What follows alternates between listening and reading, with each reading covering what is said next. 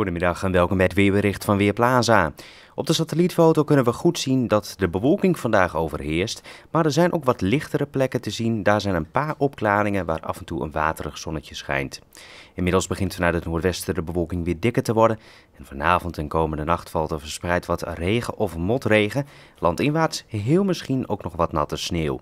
Het koelt af naar zo'n 1 tot 3 graden boven nul en de wind die neemt toe naar matig tot krachtig, windkracht 4 tot 6. En ook morgen overdag hebben we met die stevige wind te maken. Op de Wadden wordt hij misschien zelfs hard, windkracht 7. Verder is er nog steeds veel bewolking en verspreid valt een enkele bui, misschien landinwaarts met wat natte sneeuw. Het wordt een graad of 6. Donderdag, vrijdag en zaterdag blijft het overwegend bewolkt weer. Heel soms schijnt slechts de zon. En het wordt 7 tot 8 graden, vooral op donderdag en vrijdag. De wind die neemt wel geleidelijk af. Ik ben Ben Langkamp van Weerplaza.nl